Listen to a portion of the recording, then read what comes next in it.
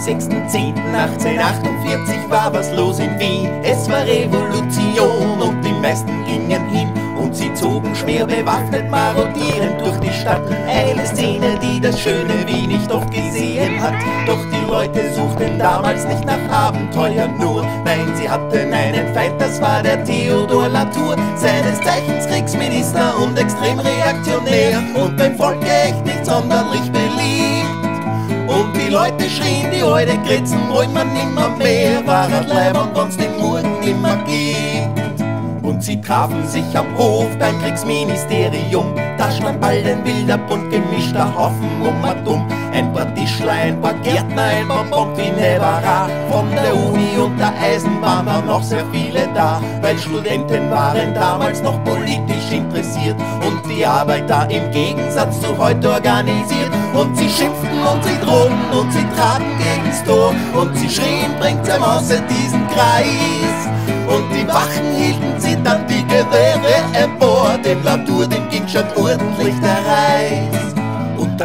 es war schon bald in dem Ministerium drin. So charmant und überzeugend sind die Menschen nur in Wien. Sie entwaffneten die Wachen oder führten sie hinaus. Ein paar Soldaten traten über oder gingen gleich nach Haus. Und ein paar Reichstagsdeputierte versuchten zu kalmieren. Doch auch ein Rücktrittsangebot wollten die Leute nicht akzeptieren. Und der alte Kriegsminister war am Dachboden versteckt. Ja, er war sogar verkleidet, doch vergebens. Er sprach den mordlüsternen Mob mit meine lieben Kinder an. Das waren schon fast die letzten Worte seines Lebens.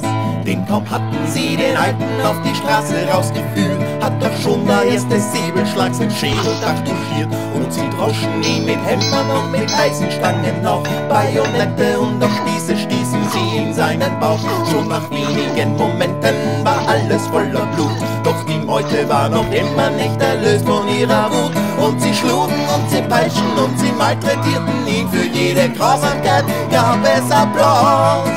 Und sie knüpften ihn mit Rebschnüren ans Fenster hin. Aber leider halten Rebschnüre nichts aus.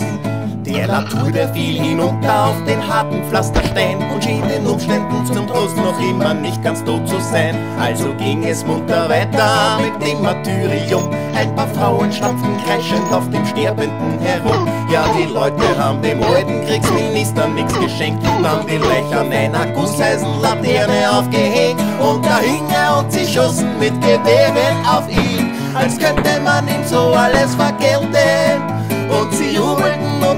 Und sie jubelten und sie schrien. So leidenschaftlich sind die Wiener selten.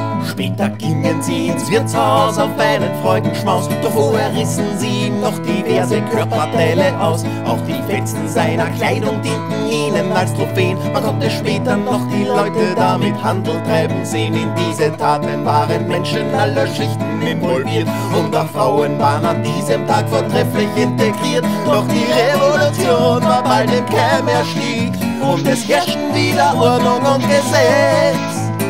Wieder einmal hat die Reaktion gesiegt. Aber immerhin, froh.